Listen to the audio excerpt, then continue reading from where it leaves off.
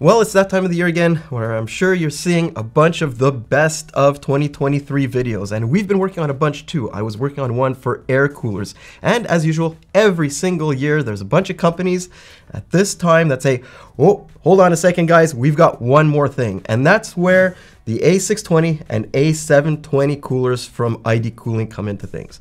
Because basically, these things are being set up to turn the entire air cooling market on its head, not just from a performance perspective, but also from a pricing perspective. Now, ID Cooling shouldn't be a new name to anybody here. And now, instead of sticking to the budget focused market, they're going after the Deepcools, Be Quiets, and Noctuas of the world. The FROZN A620 targets coolers like the Deepcool AK620 and Thermalright Phantom Spirit, while the much bigger FROZN A720 is supposed to hit up near D15 territory while costing a whole lot less. So basically a pretty big step up from where the 224 XT played. And you know what else is a big step up? This case from Antec. The really capable Performance 1FT is now available in white, the perfect complement to matching or contrasting hardware with all the same great features. Four thick fans deliver proper airflow for the 40 series and below. There's a temperature display so you know when things get hot, support for dual 360s at the same time,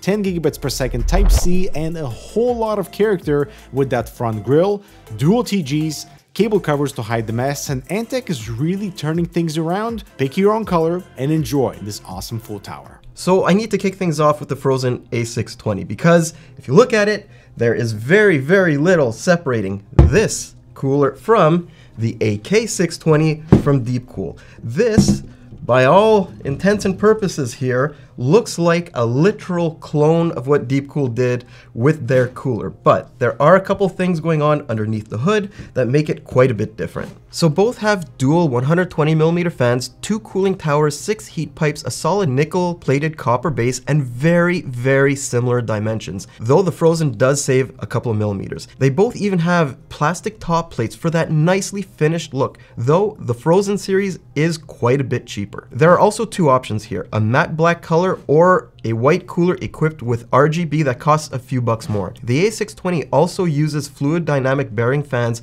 so their noise profiles should be much more pleasant than the AK620s. Memory compatibility, well, that's a bit of a challenge, but it's no different from most other dual tower heatsinks, since its frontmost fan overhangs one of the motherboard's primary memory slots. There's about 36 millimeters of clearance under there, so most DRAM kits with low profile heatsinks should fit. But if you have taller modules, that fan's gonna have to come up a bit higher. That'll mess with the A620's clean looks and increase its height by a bit. Otherwise though, this is a compact cooler that doesn't have any red flags when it comes to motherboard interference. The A620 is also bound to be a lot more broadly available than some of the other top tier coolers we've tested, at least in areas of the world world that typically don't have access to certain brands. I mean, I've heard horror stories about trying to find Thermalright and Deepcool products in places like India and South America. Now, on the other end of the spectrum, we have this thing. This is the FROZN A720, and it is basically playing in a completely different league than the A620. As a matter of fact, it really doesn't have all that many direct competitors. Maybe like the D15 and Silver Arrow IBE Extreme that we haven't looked at yet. But I mean, look at this thing. This thing is like a supersized A620 with dual 140 millimeter fans. And it's also taller, wider, and longer. This thing is massive, but that's to be expected since it's meant to be ID Cooling's flagship heatsink. Don't let the A720 specs fool you either. A height of 163mm will never happen since those larger fans also have a pretty negative effect on your memory options. With just 28mm of clearance, the front fan will need to be moved upwards even if you're using bare modules. Meanwhile, most other memory will cause the front fan to go even higher and higher, which will definitely definitely impact compatibility with some cases. To avoid this, some manufacturers like Thermalright with their Frost Commander and Frost Spirit have actually gone with a hybrid setup for their fans. So a 120mm in the front and a middle 140mm fan. But I'm guessing with this thing, ID Cooling, they just wanted to go full hog and get the best possible performance. So other than the larger fin arrays, there's a total of 7 heat pipes and a slightly extended base when compared to its smaller brother. On the positive side, ID Cooling has one of the best installation kits we've seen in a while. It's straightforward, the instructions are clear, there's a pre-installed universal crossbar, and I absolutely love the color-coded hardware. Well done. But one of the biggest questions here has to be the quality of the fans that ID Cooling is using on both of these coolers. Did they cheap out? Because even though we didn't experience any issues whatsoever with our AK620 samples, a lot of people who own this cooler report that at certain RPM ranges, this thing makes an absolute racket. So let's take a listen to the fans that ID Cooling is using to see if there's any red flags.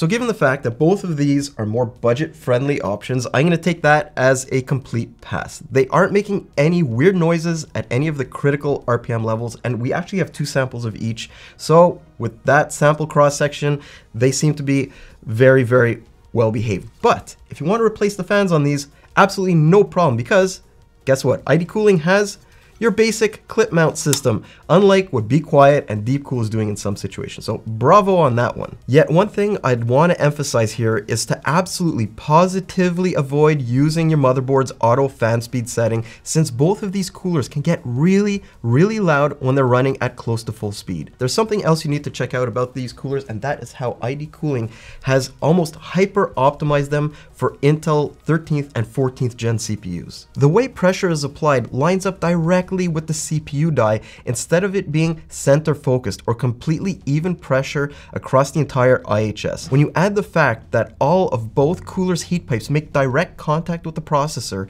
with the A720's outer heat pipes having partial coverage, well, in our experience, this is a recipe for success. With that in mind, let's head to Intel testing starting at 180 watts, which is meant to simulate a more entry-level CPU from the 13th and 14th gen processors. And then adding all of our top tier air coolers followed by the A620 and its performance is surprisingly good by managing to beat the AK620 by a pretty wide margin while also staying ahead of other bigger coolers like the Frost Commander, Dark Rock Pro 5 and Assassin 4.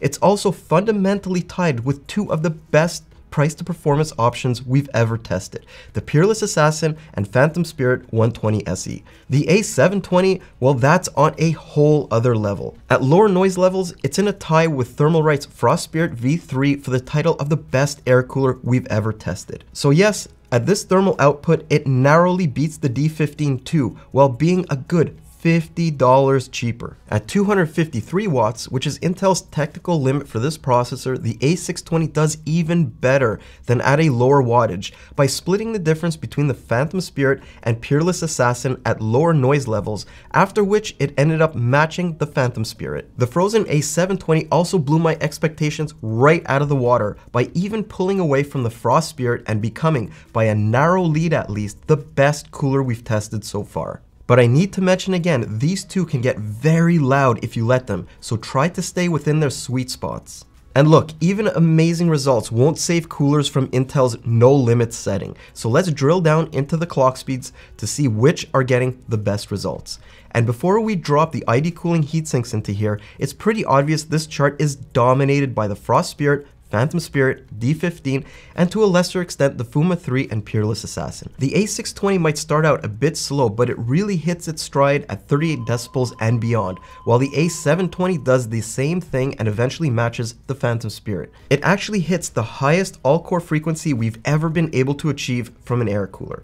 Gaming, well, it needs a little bit of an explanation here because our trusty RTX 3090 finally gave up the ghost and we were forced to use an RTX 4080. That leads to less heat buildup, so all the temperatures have gone by a fair amount and we had to do every single one of these tests over again. Anyways, the FROZN coolers both get very, very good results right across the board. They're not the best, but anything under 75 degrees makes basically no difference to performance anyways. Intel, well, that's the easy part for most of the coolers, but we don't stop there. We also test on AM5, and that we've seen again and again is a whole other ball game.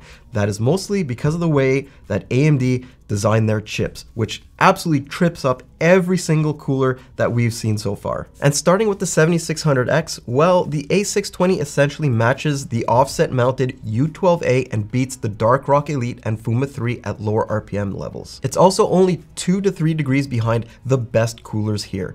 Meanwhile, there's obviously a bottleneck with the A720 since it gets the exact same performance as its little brother. But then again, this isn't unprecedented since we've seen huge coolers struggle at lower heat loads on newer Ryzen processors. On a Ryzen 7 7700X, the FROZN A620 lines up pretty much where it did on the 7600X, which means if you can get them for under 50 bucks, the Thermalright Peerless Assassin and Phantom Spirit offer better bang for buck, but I'd still pick this over the AK620 since it's a good $15 less and only loses by 2 to 3 degrees. Meanwhile, the A720 pulls ahead here and ends up competing pretty well with other high-end air coolers like the Frost Commander and much more expensive Assassin 4, though it does start to lag behind at higher noise levels. And the 7950X, well, we all know it's almost impossible to keep under its 95 degree maximum temperature. The A620 hits that temperature right up until 40 decibels, and then it ties the Dark Rock Elite and Fuma 3 while losing by about a degree to the AK620, Assassin 4, and even the offset mounted D15.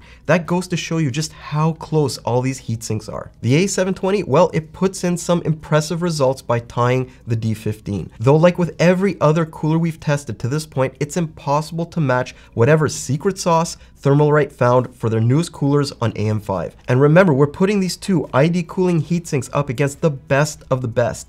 There's another half dozen high-end coolers that didn't even make it into this chart. Gaming doesn't really put much of a load on any of these coolers, even on a hot running 7700X. And for their respective prices, the ID cooling heatsinks post good results, though they aren't anything spectacular. Especially when you consider the huge A720 gets beaten by less expensive, more compact alternatives like the Deep Deepcool AK620, Peerless Assassin, and Phantom Spirit. Now I'm sure at this point in time you're just screaming at your screen, why did ID Cooling not include an offset mounting kit? We've seen these things have huge benefits on Noctua coolers in the past. Well, ID Cooling, they responded to my question about it and they said, yeah, we tried it. It basically had no net positive benefits on temperatures and including it would have just driven up the cost of these coolers. They also they also sent me their prototype offset mounting kit to try for myself. So that's exactly what we did. And they were right. For the most part, the offset kit didn't have any perceptible impact